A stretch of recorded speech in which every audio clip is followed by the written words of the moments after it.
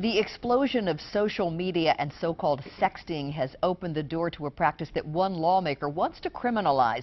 The posting of explicit pictures of someone else, perhaps an ex-spouse or girlfriend or boyfriend, online without his or her consent. If made law, you could face jail time and thousands of dollars in fines.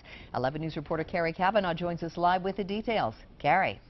Delegate Jon Cardin says Maryland needs to enact stiff penalties to address so-called revenge porn because he says it's just too easy right now to ruin someone's reputation with the push of a button. And while websites like this one called endrevengeporn.org are popping up to address the issue, he says there are all too many out there that are spreading sensitive information.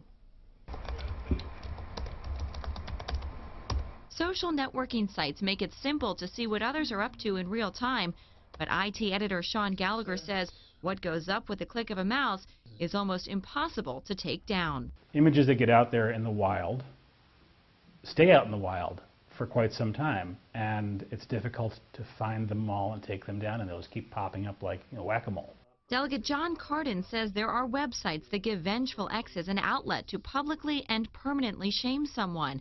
The means are high-tech, but the premise is simple. They give their lover or their significant other a compromising picture of himself. Then the relationship ends, the trust is, is no longer there, and people put, post that information.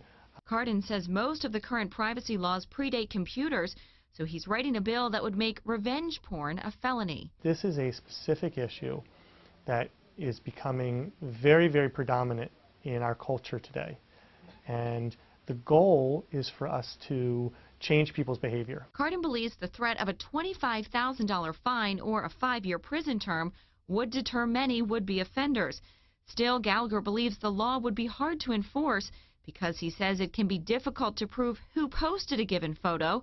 He adds that scorned lovers aren't always to blame Gallagher says hackers can exploit images from your computer or cell phone as well. That's a real problem these days, is that if you take any sort of image of yourself, you know, take a selfie anywhere, that goes on your phone, goes into the cloud, you could accidentally share it just as easily as somebody could hack it.